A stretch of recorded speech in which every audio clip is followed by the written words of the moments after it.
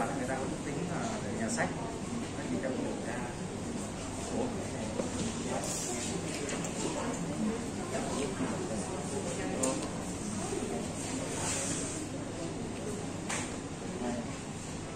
Thank you.